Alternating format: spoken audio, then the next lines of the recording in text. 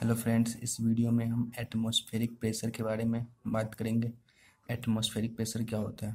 The pressure exerted by the envelope of air surrounding the earth surface is known as atmospheric pressure earth surface के चारों तरफ़ air air से ढके हुए earth पूरे के पूरे। तो जो एयर का मिक्सचर है अर्थ के ऊपर, जो चारों तरफ़ से अर्थ को ढक रखा है उसके वजह से जो प्रेशर क्रिएट हो रहे हैं अर्थ के ऊपर हम उसे बोलते हैं एटमॉस्फेरिक प्रेशर अगर ये हमने इसे मान लिया अर्थ अगर ये अर्थ है अर्थ के सराउंडिंग एयर्स होते हैं और इस एयर्स के कारण जो प्रेशर लग रहा होगा अर्थ पे, इसे हम बोलते हैं atmospheric pressure so the pressure exerted by the envelope of air surrounding the earth's surface is known as atmospheric pressure. तो उसे एटमोसफियर प्रेशर बोलते हैं। इसे मेजर कैसे करते हैं?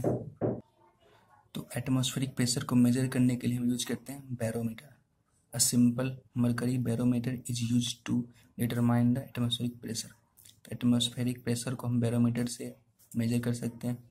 बैरोमीटर होता क्या है? कैसे काम करता है? अभी देखते हैं। हमारे पास एक नैरो ग्लास ट्यूब है। नैरो ग्लास ट्यूब में हमने मरकरी फिल कर दिया। सपोज़ हमने एक नैरो ग्लास ट्यूब लिया और नैरो ग्लास ट्यूब के अंदर हमने मरकरी फिल कर दिया है। अब वो जो मरकरी है, वो पूरा फिल करके हमने एक ऐसा बकेट लिया है और इस बकेट में भी हमने मरकरी फिल कर दिया यहाँ तक। तो अब हमारे पास ट्यूब में भी हमने हमने क्या किया कि ट्यूब में भी मरकरी हमने फिल कर दिया और इसमें भी मरकरी है। अब हमने क्या किया? तो जैसा कि इस, यहाँ पे देख सकते हैं, हमने नैरो ग्लास ट्यूब लिया है। इस नैरो ग्लास ट्यूब के अंदर हमने पूरा मरकरी फिल कर दिया। हमने पूरा का पूरा मरकरी फिल कर दिया। मरकरी का जो डेंसिटी होता है वो हैवी होता है। तो हमने इसके अंदर मरकरी फिल कर दिया। अब इस मरकरी को फिल करके हमने इसके ऊपर से, इसके ऊपर उंगली लगा के या फिर हम किसी तरह से स्क्रोच करके और हमने एक इस टाइप का वेजल है। इस टाइप का कोई बर्तन है, उसके अंदर भी मरकरी फिल्ड है। और उस मरकरी के अंदर हमने इसे उल्टा करके रख दिया। जब हम इसे उल्टा करके इसके अंदर डालेंगे तो उल्टा करके इसे डालने पे यहाँ तो ऑलरेडी मरकरी फिल है। उल्टा करके मरकरी डालने पे क्या होगा कि जो मरकरी है ग्लास ट्यूब के अंदर, वो हमने उल्टा करके डाल दिया इसको इस बकेट के अंदर, जहाँ पे ऑलरेडी मरकरी फिल है। अब जब हम यहाँ से उंगली हटाएँगे, इसे डिप करने के बाद क्या होगा कि इसके अंदर जो मरकरी फ़ील्ड है, थे, वो मरकरी धीरे धीरे नीचे आना स्टार्ट हो जाएँगे और वो मरकरी इसके अंदर से इस तरफ़ बाहर आ जाएँगे, बाहर आएँगे। लेकिन ये बाहर कब तक आएगा?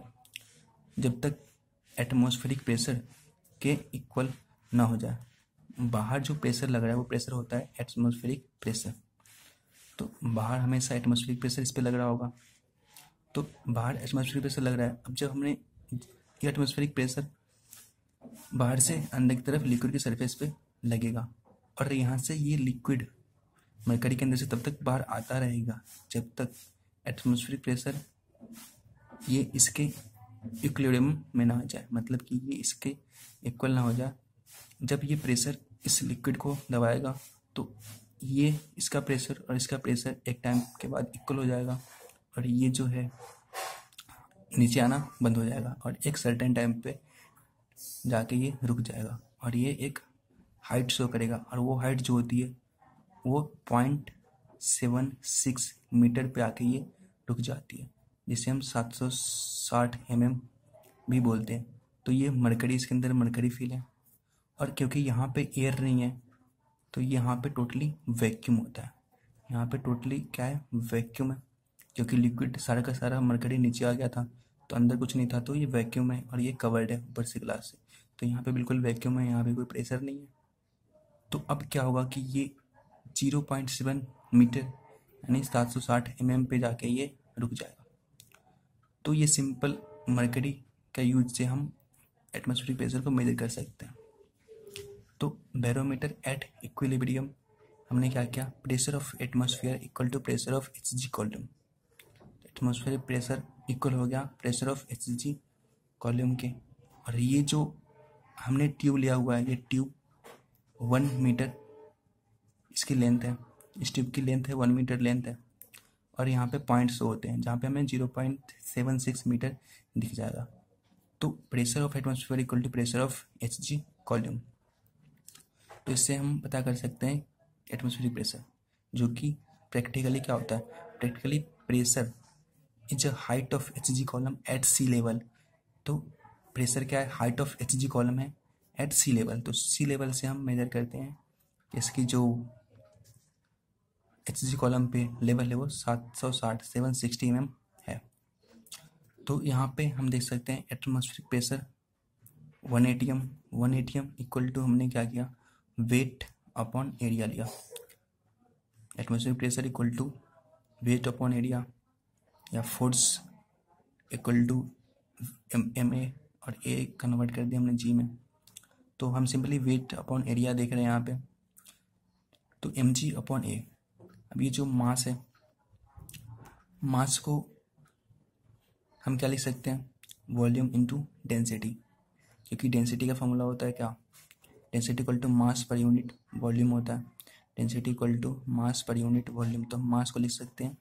डेंसिटी इंटू वॉल्यूम तो हमने डेंसिटी इंटू वॉल्यूम मास को लिख लिया इंटू जी अपॉन ए इस वॉल्यूम को हम लिख सकते हैं area into height height of column so area into height rho G A से ए कैंसिल हो गया। हमारे पास one A T equal to rho G H आया तो rho G H pressure one atmospheric pressure या pressure is equal to rho G H यहाँ पे तो practically pressure is height of H G column at sea level pressure atmosphere pressure is equal to seven sixty M M of H G column और zero point seven six metre of H G column so we have two equations pressure equal to rho G H और we can say that pressure equal to W small W into H small W is specific weight of fluid specific weight क्या होता है?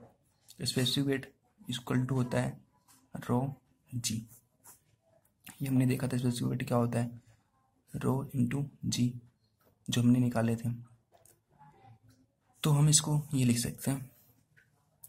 इन S I S I और pressure की जो unit होती है, वो होती है पास्कल या न्यूटन पर मीटर स्क्वायर।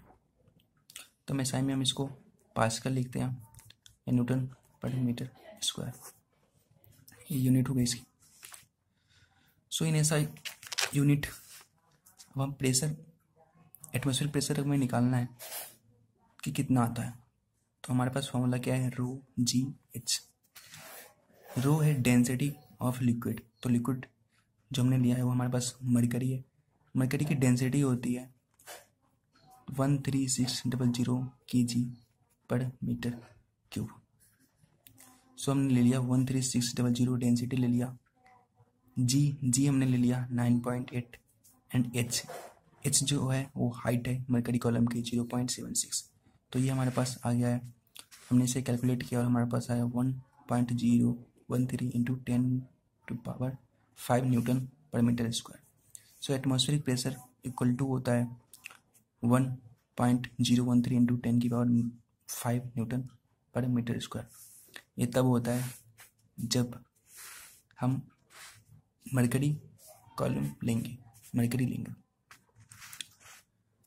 अगर हमारे पास स्पेसिफिक मरकरी की स्पेसिफिक वेट या स्पेसिफिक ग्रेविटी होता है मरकरी का थर्टीन पॉइंट सिक्स अगर हम स्पेसिफिक ग्रेविटी को वाटर की डेंसिटी से मल्टीप्लाई करें, जो कि वाटर की डेंसिटी होती है थाउज़ेंड के जी पर मीटर क्यूब तो अगर वाटर की डेंसिटी से हम स्पेसिफिक ग्रेविटी को मल्टीप्लाई करें तो हमारे पास आ जाएगा मटेरियल की डेंसिटी तो किसी भी मटेरियल की डेंसिटी हम पता करने के लिए क्या करते हैं कि उसकी स्पेसिफिक ग्रेविटी को हम मल्टीप्लाई करते हैं वाटर की डेंसिटी के साथ मतलब थाउज़ेंड के साथ। तो मरकरी की डेंसिटी मरकरी की स्पेसिफिक वेट होती है थर्टीन पॉइंट सिक्स इसको हम थाउज़ेंड से मल्टीप्लाई करते हैं तो हमारे पास आ जाता है थर्टीन सिक्स डबल ज़ीरो ये डेंसिटी है मरकरी के के जी पर मीटर क्यूब यहाँ पे हम देख सकते हैं फॉर्मूला हमारे पास है specific density equal to density of material density of material upon density of water तो specific density density of material upon density of water होता है. तो डेंसिटी ऑफ़ मटेरियल फाइंड करने के लिए हमारे पास फार्मूला क्या जाते हैं? तो हम यहाँ से क्रॉस मल्टीप्लाई कर लेंगे. स्पेसिफिक डेंसिटी और specific gravity into density of water वहीं अगर हम बात करें कि क्या होगा अगर हम मरकरी कॉलम ना लें? मरकरी कॉलम की जगह पे हम, मरकरी कॉलम की जगह पे हमने उस ग्लास ट्यूब के अंदर हमने वाटर फिल कर लिया। कहने का मतलब कि अगर हम इसके अंदर मरकरी ना लेके, मरकरी का जो होता है डेंसिटी वो होती है one three six double zero k g per metre cube तो क्या होगा अगर हम मरकरी ना लेके हम इसके अंदर वाटर लेते हैं तो? तो वाटर लेते हैं तो क्या होगा? तो हमारे पास formula in case of water तो हमारे पास, हमने देखा कि एटमॉस्फेरिक प्रेशर इक्वल टू आया one point zero one three into ten की power five newton per metre square ये आया हमारे पास एटमॉस्फेरिक प्रेशर तो इन केस ऑफ़ वाटर हमने प्रेशर ले लिया atmospheric pressure equal to rho g h तो हमने प्रेशर जो हमने निकाला एटमोसफियर वो हमारे पास न्यूटन पर मीटर स्क्वायर इतना इक्वल टू हम करेंगे rho g h rho g h means